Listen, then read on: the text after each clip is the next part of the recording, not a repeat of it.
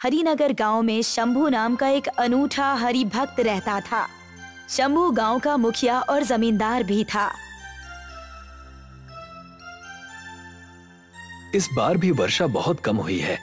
इसका हल यही है कि हम एक बाँध बनवा ले, ताकि वर्षा का पानी हमें मिल सके। हाँ और इसीलिए आज सुकेश को बुलाया है। अगर वो भी मदद करे तो हम इस काम को आगे बढ़ा सकते हैं। पर उनका आचरण देखकर लगता नहीं कि वो आपकी मदद करेंगे। सही कहती हो उसे मनाना थोड़ा कठिन है पर शायद इस बात के लिए वो मान जाए। वो कैसे? दिखावे में ही सही पर अगर मैं पहल करूँगा तो गाँव वालों की मदद के लिए वो भी आगे आएगा। हाँ सही कह रहे हैं। अच्छा अब मैं पंचायत के लिए निकलता हूँ ठीक है? जी जल्दी आइएगा। ये कहकर शंभू पंचायत की ओर बढ़ गया और गाँव वाले भी वहाँ उपस्थित हो चुके थे। भाई शंभू, कुछ करो इस समस्या का। अगर ऐसा ही चलता रहा तो खेत बंजर हो जाएँगे। हाँ मैं समझता हूँ कि समस्या बहुत जटिल है और इसीलिए मैं एक प्रस्ताव लेकर आया हूँ। कैसा प्रस्ताव? अब बारिश भी करवाओगे क्या? ऐसी स्थिति में ठिठोली करना लाभदायक होता है, सुकेश। अब कम से कम इस विषय पर सही से विचार तो कर पाएँगे सब। ठिठोली तो मैं तुम्हारी कर रहा हूँ। क्या प्रस्ताव लाए हो? बारिश नहीं हो रही तो इसमें क्या किया जा सकता है? और खेतों में अगर खाद से दिक्कत हो रही है तो क्या करें? सुकेश, हम सब इस दुविधा का उपचार बस बारिश का इंतज़ार करके नहीं कर सकते। तो कैसे किया जाए शंभू? दो उपचार हैं इसके। पहला ये कि हमें बाँध बनाना होगा। ताकि बारिश जब हो तो उसका पानी हमारे पास जमा रहे। शंभू, बाँध बनाने में कितने पैसे और लोगों की ज़रूरत होती है, जानते भी हो? फिर बढ़िया सवाल। जैसा कि कुंभ ने कहा कि एक बाँध बनाने में पैसे और लोगों की ज़रूरत है, इसलिए हम कुछ छोटे बाँध बनाएँगे अपने नदियों पर और पैसे मेरी तरफ़ से आएँगे। और जो पैसे कम पड़ रहे हैं तो उसके लिए अगर कोई श्रीमंत हो इस गाँव में तो वो आगे आए। तुम अकेले श्रीमंत नहीं, मैं भी मदद करूँगा इस बार गाँव की। आभार होगा तुम्हारा, सुकेश। और दूसरा उपचार क्या है, शंभू? केमिकल खाद के कारण खेतों की उपज कम हो रही है तो हम प्राकृतिक बनाएँगे। अच्छा तो हमें अब खाद खरीदने की ज़रूरत नहीं पड़ेगी। अब से प्राकृतिक खाद तुम सबको मैं दूँगा। वाह, शंभू, क्या खबर सुनाई है। होली आ रही है। इस साल उपज ज़्यादा नहीं हुई है, ये बात मैं भी जानता हूँ। इसीलिए गुजिया और रंग मैं बांट दूँगा। लाख लाख शुक्र है इस बात का कि इस अभागे गाँव में तुम जैसा सज्जन भी है, वरना पता नहीं क्या होता हमारा। इससे तुम्हें कोई दिक्कत तो नहीं है, सुकेश?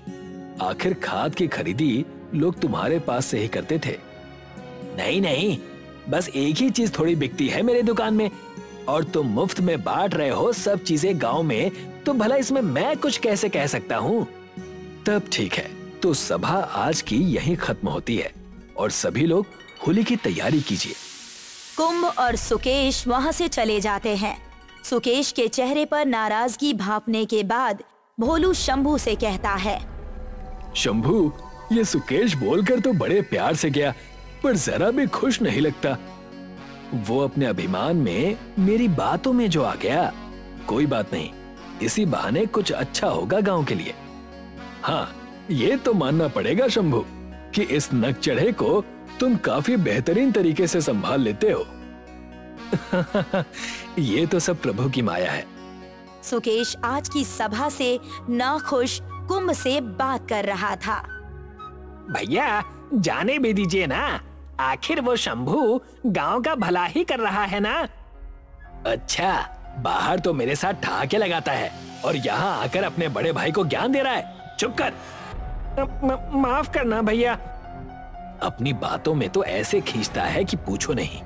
उसकी वजह से अब खाद भी नहीं बिकेगी। और तो और होली के रंग मुफ़्त में बांट रहा है वो अलग। हाँ भैया। इसका कुछ तो करना पड़ेगा। आ, मतलब? मतलब कि बाँध बनने में तो हम कोई बाधा नहीं लाएँगे। लेकिन मेरे पास एक तरकीब है जिससे शंभू पर कोई कभी भरोसा नहीं करेगा। इस घटना के कुछ दिन बाद शंभू घर के बाहर एक बड़े टेबल पे खाद के पैकेट रखकर खड़ा था। अरे शंभू जी बहुत बहुत धन्यवाद। हम गाँव वाले आपका यह आभार कभी नहीं भूलेंगे। अरे भोलू आभार कैसा? ये तो बस मेरे पास कुछ अधिक है तो मैं हर किसी में बांट दे रहा हूँ। तुम सब ये ना सोचो और इसे अपना ही समझ कर लेकर जाओ।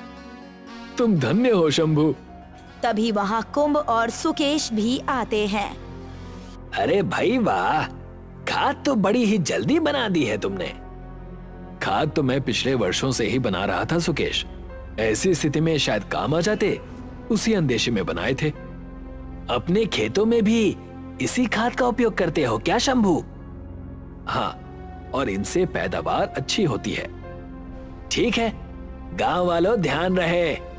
शंभू भाई का इस गाँव पर बहुत बड़ा उपकार है। कोई भूलना मत। आखिर उसने सबको मुफ़्त में खाद जो बांटी है क्यों कुंभ? हाँ भैया सही कह रहे हैं। तुम दोनों का मेरे प्रति बहुत प्रेम लगता है। अच्छा लगा मुझे कि तुम दोनों यहाँ आए। आओ और तुम भी खाद ले लो। अरे नहीं नहीं हम ये खाद कैसे ले सकते हैं? आखिर हमारे पास वैसी ही इतनी खाद बची है दुकान की। हम उसे ही इस्तेमाल करेंगे। अगले दिन सुबह भोलू कुछ हड़बड़ाहट में शंभू के घर आया। अरे क्या बात हो गई भोलू? शंभू अनर्थ हो गया।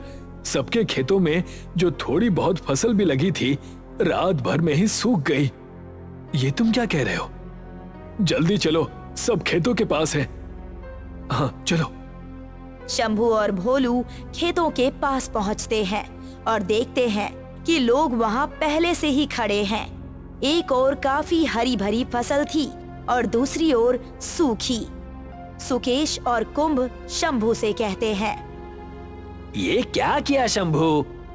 तुमसे पहले भी कहा है सुकेश कि शंभू का नाम मत लो और गाँव वालों को भड़काओ मत। मैंने किसी को भड़काया नहीं है। मैं जब यहाँ आया तो लोगों ने ये बातें मुझे खुद बताई हैं। क्यों, कुंभ? हाँ भैया, सही कह रहे हैं। आखिर ऐसी क्या बात हो गई सुकेश? ऐसी क्या बात होगी मतलब? अपनी आँखों से देख नहीं सकते हो क्या? कल जो तुमने किया था, उसी का हश्र है ये। पर मैंने तो सबको वही खाद दी, जो मैं खुद इस्तेमाल करता हूँ। तो फिर तुम्हारे खेत की फ़सल इतनी अच्छी कैसे हुई है? वो मैं इसका हर्जाना कैसे चुकाओगे अब? लोगों की मदद करने का ढोंग करते हो? चुप हो जाओ, सुकेश। नहीं बोलो, सुकेश बिल्कुल सही कह रहा है। मुझे इसका हर्जाना भरना ही होगा। हाँ पर भरोगे कैसे? मेरी फ़सल बस खाने के लिए पर्याप्त छोड़कर बाकी सारी फ़सल मैं गाँव वालों के बीच बांट दूँगा। क्या? चकित क्यों हो रहे हो? आखिर हरजाना मैं और कैसे भर सकता हूँ? कुछ दिन बीत गए। होली में बस दो दिन बचे थे। भोलू शंभू के घर आया था। तुम क्यों मुँह लटकाते हो भोलू? हर साल आप गाँव के लिए कितना कुछ करते हैं। हमारी होली में भी हमारे दुख में भी रंग और मिष्ठान देकर जाते हैं। तो आपके साथ ऐसा क्यों हो रहा है? दुख तो मुझे हो रहा है, भोलू, कि इस बार की होली बेरंग जा रही है और मैं कुछ नहीं कर पा रहा। सुकेश रंग दो गुने दामों में बेच रहा है और मिष्ठान के पैसे नहीं है हमारे पास। सब हरि नारायण पर छोड़ दो, वही कोई मार्ग दिखाएँगे। शंभू, यदि भक्ति और प्रेम हो तो तुम्हारी तरह, हर परिस्थिति में मुस्कुराते हो। यही तो सीख ली है मैंने मायाधर से। हाँ इनका प्रेम देखकर तो कभी कभी मुझे भी भगवान से नाराज़गी हो जाती है। तुम सब चिंता ना करो। मैं भगवान की संध्या पूजन के बाद उनसे गाँव का सुख मांगूँगा। ठीक है शंभू। अब मैं विदा लेता हूँ। ये कहकर भोलू वहाँ से चला जाता है। पूरा गाँव परेशान है और भोलू भी। सब प्रभु की कृपा है। मैं मंदिर जा रहा हूँ। जी जल्दी आइएगा। शंभू मंदिर में ध्यान में बैठा था। तभी उसे एक आवाज़ सुनाई दी। शंभू? शंभू आँखें खोलता है। प्रभु प्रभु! कुछ चिंतित लगते हो?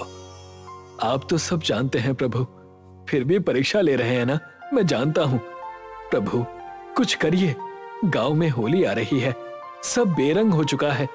मुझे अपने लिए कुछ नहीं चाहिए। लेकिन गाँव वालों का दुख, हरे प्रभु। तुम्हारे स्वार्थ रहित भाव को देखकर मैं अति प्रसन्न हूँ। इस बार की होली ऐसी होगी कि पूरे गाँव का दुख उन रंगों में बह जाएगा। हे गोविंद, हरि नारायण, आपकी आवाज़ से ही मेरा उद्धार हो गया और आपकी कृपा से पूरे गाँव का भी उद्धार हो गया। मुझे क्या करना होगा? कृपया मुझे बताएँ प्रभु, तुम गाँव के पास वाली गुफा में कल भोर होते ही चले जाना। वहाँ तुम्हें एक कलश मिलेगा। उसका पानी यदि तुम जलती होलिका में डालोगे तो उसके भाप से उत्पन्न हुए बादल पूरे गाँव को खुशहाल कर देंगे। जैसा आप कहें प्रभु, इस भक्त का आपको कोटि कोटि नमन।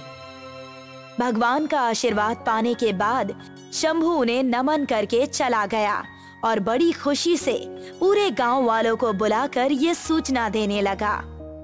शंभू बड़े खुश नज़र आ रहे हो। भरोसा नहीं कर पाओगे? कुछ ऐसा हुआ है? स्वयं हरि नारायण ने मुझे इस दुख का निवारण बताया है। क्या? ये तो बहुत ही खुशी की बात है। तो क्या करना होगा हमें? शंभू सबको पूरी बात बताता है। और सब फैसला करते हैं कि वो भोर होते ही वहाँ जाएँगे। सुकेश ये सुनकर बिल्कुल भी प्रसन्न नहीं था। वो कुंभ के साथ उसी रात उस गुफा में चला गया। भैया, आप ये क्या कर रहे हैं? स्वयं भगवान ने ही कहा है। फिर भी आप ये महापाप कर रहे हैं भैया? मैं पापी हूँ, इसमें कोई दो राय नहीं है। तू मेरा भाई है और मेरी मदद करना तेरा फ़र्ज़ बनता है। अब फावड़ा चला मुँह नहीं।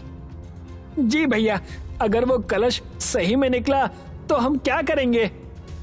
तो हम उस कलश को यहाँ से ले जाएँगे और शंभू की पूरी ज़मीन के बदले में उसे ये कलश देंगे। तब मेरी बराबरी का इस गाँव में कोई नहीं होगा। कुंभ मुँह लटकाकर सुकेश की बात मान लेता है। दोनों सुबह होने तक खोदते रहते हैं। फिर उन्हें एक सोने का कलश दिखाई देता है। निकाल इसे कुंभ। बस भैया अब और नहीं। इसके आगे आपको जो करना है आप खुद कीजिए। ये कहकर कुंभ वहाँ से चला गया। शह, जाता है तो जाए। मुझे क्या? जैसे ही सुकेश उस कलश को छूता है एक तेज रोशनी निकलती है और एक गरुड़ प्रकट होता है। और सुकेश को पंजों से मारकर भगा देता है। तभी उस गुफा से बाहर भागते हुए सुकेश पहुँचता है और उसे शंभू, भोलू, कुंभ और अन्य गाँव वाले मिल जाते हैं। क्या बात है? वो गरुड़ गरुड़। गरुड़? कहाँ है? वो अभी तो यही था। मैं बताता हूँ, मैं भी इनके साथ इस पाप में भागीदार हूँ। ये कहकर कुंभ उन्हें सारी बातें बता देता है कि कैसे सुकेश ने ही शंभू के खाद में कुछ मिलाया था और कैसे आज वो कलश चुराने आया था। धन्यवाद, सुकेश। ये तुम क्या कह रहे हो? इतना बड़ा पाखंड किया है मैंने, और तुम धन्यवाद कह रहे हो। धन्यवाद इसलिए कि तुमने इतनी मेहनत की और हमें कलश जाते ही मिल गया, और जहाँ तक सवाल रहा तुम्हारी सजा का तो गरुण महाराज ने तुम्हें सजा दे ही दी है। आओ, हमारे साथ तुम भी होली मनाओ और अपने अंदर के पापों का नाश करो। वो लोग सुकेश को छोड़कर कलश लेने गुफा में चले जाते हैं और कलश लेकर बाहर आ जाते हैं। सुकेश सबके आगे हाथ जोड़ता है और सबने जैसा बताया गया था, ठीक उसी तरह होलिका में उस कलश से पानी डाला। घने बादल जमा होने लगते हैं और जैसे ही होलिका जल जाती है, वहाँ सतरंगी रंगों की बारिश होने लगती है और फ़सल जी उठती है। लोग उस रंगों की बारिश में अपने दुखों का और बुराइयों का नाश करते हैं। चंदनपुर नाम का एक गाँव था, जहाँ हीरा का परिवार रहता था। हीरा के परिवार में उसके दो बेटे, भुवन और मोहित। और उसकी बूढ़ी माँ थी।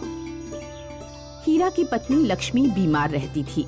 हीरा शादी से पहले पूजा नाम की एक लड़की से प्रेम करता था। लेकिन हीरा की माँ ने हीरा की शादी लक्ष्मी से करा दी। हीरा को ना लक्ष्मी से लगाव था और ना ही अपने दोनों बेटों से। हीरा, आज काम से लौटते समय लक्ष्मी की दवा ले आना। अम्मा, मैं नहीं ला पाऊँगा दवा। मेरी पूरी तनख्वाह तुम्हारी बीमार बहू की दवाई में खर्च हो जाती है। ना कुछ अच्छा खा पाता हूँ, ना पहन पाता हूँ। वैसे भी मैं तो इससे शादी करना नहीं चाहता था। अब तुम ही अपनी बीमार बहू को संभालो। हीरा लक्ष्मी की दवा लेकर नहीं आया और कुछ दिनों बाद लक्ष्मी स्वर्ग से धार गई। हीरा को अब अपनी पुरानी प्रेमिका पूजा से शादी करने का मौका मिल गया। उधर पूजा का पति बीमार रहता था। इसलिए पूजा ने भी अपने पति को छोड़ दिया। हीरा बेटा दूसरी शादी जरा सोच समझ कर करना। तुम्हारे दोनों लड़के अभी छोटे हैं। नई पत्नी पता नहीं उनके साथ कैसा व्यवहार करेगी। अपनी बकवास बंद करो अम्मा इस बार मैं तुम्हारी बातों में नहीं फंसने वाला। हीरा ने पूजा से शादी कर ली। पूजा के घर आते ही हीरा के बच्चों और हीरा की माँ के बुरे दिन शुरू हो गए।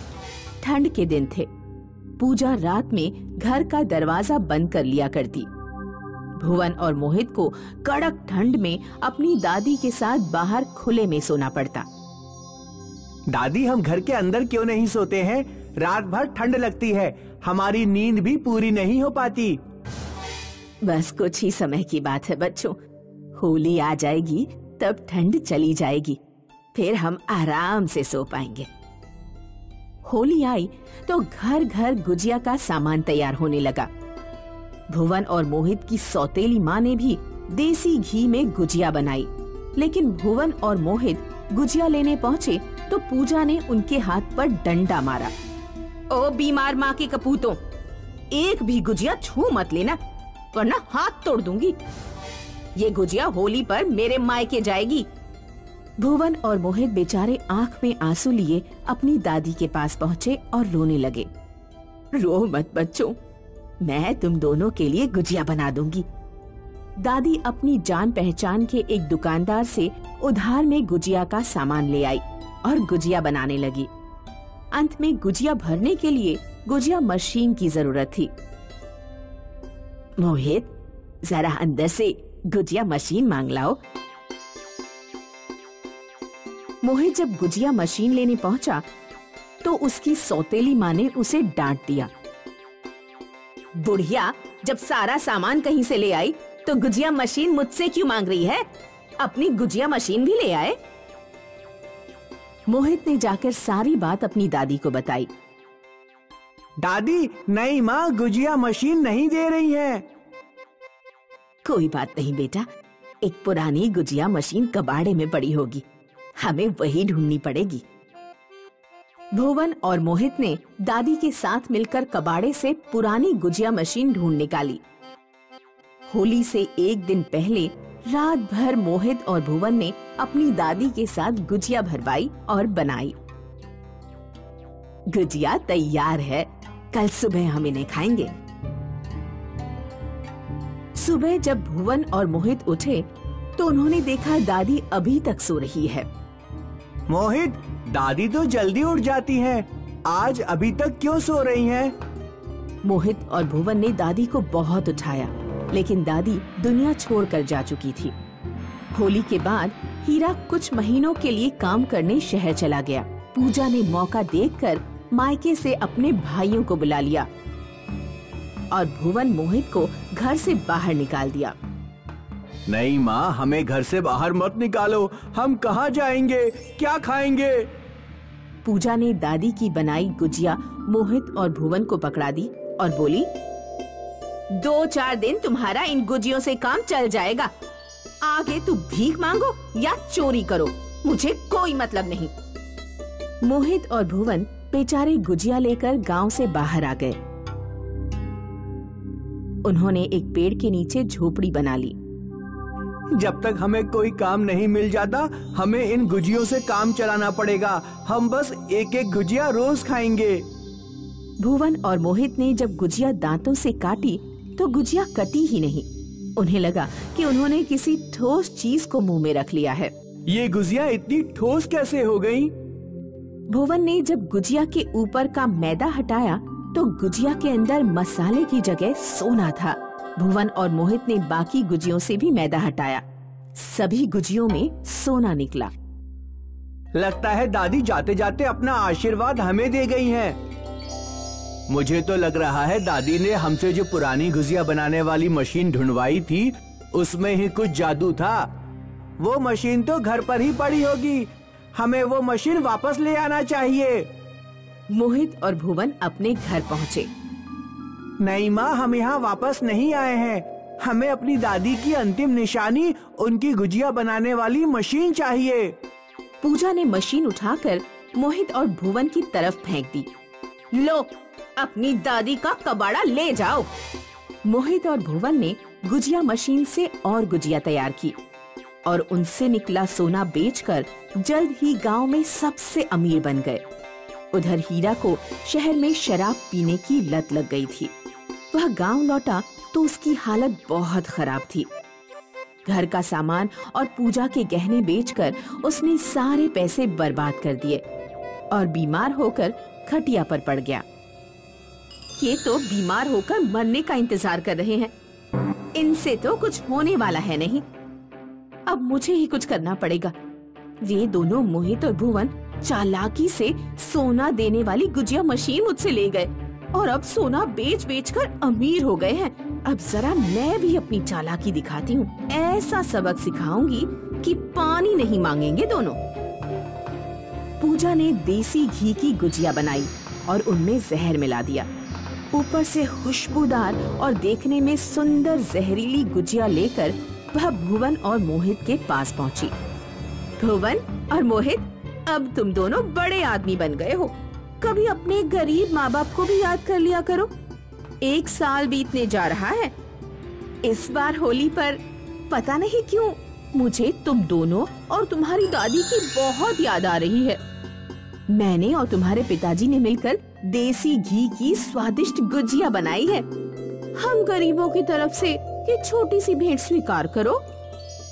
मोहित और भुवन ने जब अपनी सौतेली माँ को इस तरह मीठी मीठी बातें करते देखा तो वे समझ गए कि दाल में कुछ काला है। माँ हम आपके हाथों की स्वादिष्ट गुजिया खाएँगे तो ज़रूर लेकिन पहले आप एक गुजिया खाकर दिखाइए। मैं तो घर से खाकर आई हूँ। मैं खाकर क्या करूँगी? नहीं माँ आपको पहले कम से कम हमारे हाथ से एक गुजिया तो खानी पड़ेगी। पूजा को लगा कि मोहित और भुवन उसकी गुजिया खाए बिना खुद गुजिया नहीं खाएँगे। तो उसने सोचा कि वह गुजिया दिखाने के लिए मुँह में रख लेगी, लेकिन अंदर नहीं निकलेगी और घर से बाहर जाकर थूक देगी। लेकिन जब पूजा ने गुजिया खाई तो उसे ज़ोर का फंदा लग गया और गुजिया गले के अंदर अटक गई। खांसते खांसते पूजा का बुरा हाल हो गया था। मोहित ने पूजा को पानी पिला दिया। जहरीली गुजिया पेट में पहुँचते ही पूजा का काम तमाम हो गया। मीनाक्षी और गुंजन एक दूसरे के पड़ोसी थे। दोनों में बहुत प्यार मोहब्बत था। उनके घर के सामने से कई फेरी वाले गुजरते थे। मीनाक्षी जब भी कुछ खरीदती तो गुंजन को आवाज़ ज़रूर लगा देती। गुंजन, अरे ओ गुंजन, गोभी वाला आया है। मात्र दस रुपए किलो गोभी बेच रहा है। तुम भी ले लो फिर कहोगी कि बताया नहीं। इसी तरह गुंजन भी जब कुछ खरीदती तो मीनाक्षी को बुला लिया करती। एक दिन दोपहर में एक मटर बेचने वाला आया। ताजी हरी मटर ले लो मटर वाला तीस रुपए किलो मटर। मीनाक्षी अपने घर से बाहर आकर मटर देखने लगी। ले लो बहन जी, एकदम कच्ची मटर है, कल खेत से तोड़ी है। ठीक है, एक किलो तोल दो। मीनाक्षी ने हमेशा की तरह गुंजन को आवाज़ दी। गुंजन, ओ गुंजन, मटर वाला आया है, अच्छी मटर है, लेना है तो आ जाओ। संयोग से गुंजन उस दोपहर रजाई ओढ़कर गहरी नींद में सो रही थी। मीनाक्षी के कई बार आवाज़ देने पर भी जब गुंजन बाहर नहीं आई तो मीनाक्षी ने अपने लिए मटर खरीद लिए और मटर वाला चला गया। शाम को जब मीनाक्षी सब्ज़ी बनाने के लिए मटर छीलने बैठी तो उसके होश उड़ गए। मटर में से सोने के दाने निकल रहे थे। उसी समय मीनाक्षी का पति शुभम ड्यूटी से लौटकर आया। शुभम स्वार्थी और लालची किस्म का इंसान था। सोने के मटर के दाने देखकर वह बहुत खुश हुआ। अरे वाह हम तो माला माल हो गए।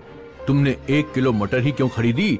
कम से कम दस बारह किलो मटर खरीद लेती। मुझे क्या पता था कि मटर में से सोने के दाने निकलेंगे।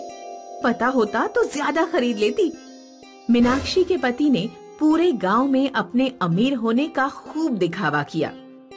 जब गुंजन को पता लगा कि मीनाक्षी ने ऐसे मटर खरीदे हैं जिसमें से सोना निकला है तो वह मीनाक्षी के घर पहुँची। क्यों मीनाक्षी? तुमने मटर अकेले अकेले खरीद लिए। मैं जब भी कुछ खरीदती हूँ तो हमेशा तुम्हें आवाज़ लगाती हूँ। मैंने तुम्हें आवाज़ दी थी, लेकिन तुम घर से बाहर ही नहीं निकली। शायद तुम सो रही थी। अच्छा हाँ मैं परसों दोपहर थोड़ा सा सो गई थी। मुझे लगा कि तुमने जानबूझकर मुझे नहीं बुलाया। मुझे माफ़ करना कि वह मटर वाला कभी दोबारा आए तो मैं भी उससे मटर खरीदूँगी। गुंजन जब घर पहुँची तो गुंजन का पति उससे बोला अब पता लगी तुम्हें अपनी मीनाक्षी बहन की असलियत? तुम तो कहती थी कि मीनाक्षी बहुत अच्छी है। अब देखा कैसे वो सोने की मटर अकेले खरीद कर बैठ गई। हमें गलतफहमी हो गई है। मीनाक्षी ने मुझे आवाज़ दी थी। लेकिन उस दोपहर नींद में होने के कारण मैं मीनाक्षी की आवाज़ सुन ही नहीं पाई थी। मैं नहीं मानता वो झूठ बोल रही है। उसने तुम्हें इसलिए नहीं बुलाया क्योंकि वो नहीं चाहती थी कि उसके साथ साथ हम लोग भी अमीर हो जाएँ। उधर मीनाक्षी का पति शुभम काम धंधा छोड़कर घर बैठ गया था और हमेशा सोने के मटर के दानों की रखवाली करता रहता था। मीनाक्षी उससे बोली क्यों न हम आधे किलो मटर गुंजन के घर दे आए। हमारे साथ उन लोगों के घर भी सुख समृद्धि आ जाएगी। तो इसमें बुरा क्या है? क्या तुम पूरी पागल हो गई हो? आधे किलो सोने की मटर गुंजन के घर दे आओगी। अरे, इन मटर के दानों से मुझे पूरा जीवन गुजारना है। अगर आधी मटर के दाने तुमने गुंजन को दे दिए तो मुझे आधी ज़िंदगी काम करना पड़ेगा। इसलिए आधे किलो मटर गुंजन को देने की बात बिल्कुल भूल जाओ। एक दिन गली में एक और मटर बेचने वाला आया। इस बार गुंजन के पति ने उसे पकड़ लिया और उसके सारे मटर खरीद लिए।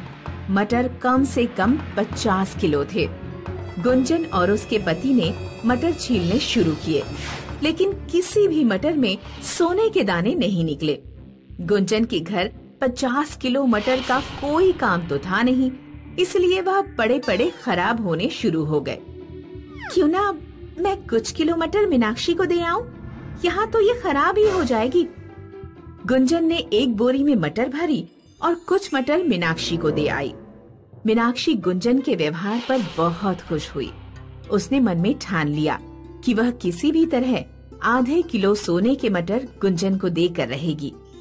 मीनाक्षी बाज़ार जाकर हरे और गोल्डन कलर का पेंट खरीद लाई। उसने आधे किलो हरे मटर पर गोल्डन पेंट कर दिया। एक सुबह जब उसका पति टॉयलेट में था तो मीनाक्षी ने जल्दी से आधे किलो सोने के मटर के दाने उठाए और उसकी जगह अपने पेंट किए हरे मटर के दाने रख दिए। दोपहर में वह अपने पति से बोली, सुनिए जी, मैंने साधारण मटर की सब्ज़ी बनाई है। सब्ज़ी थोड़ी ज़्यादा बन गई है। कुछ सब्ज़ी मैं गुंजन के घर देकर आना चाहती हूँ। शुभम ने भगोने में देखा तो उसे हरे मटर दिखाई दिए। क्योंकि मीनाक्षी ने सोने के मटर पर हरा पेंट कर दिया था। इस तरह मीनाक्षी ने अपनी चतुराई से आधे किलो सोने के मटर गुंजन के घर पहुँचा दिए। गुंजन और मीनाक्षी में पहले जैसी गहरी दोस्ती हो गई। मीनाक्षी, एक बात बताओ, जब तुम्हारे पति को पता लगेगा कि आधे मटर के दाने सोने की नहीं, साधारण है तो तुम उनसे क्या कहोगी? कह दूँगी कि मुझे क्या पता? हो सकता है मटर वाले ने हरे मटर के दानों पर गोल्डन पेंट करके हमें उल्लू बना दिया हो।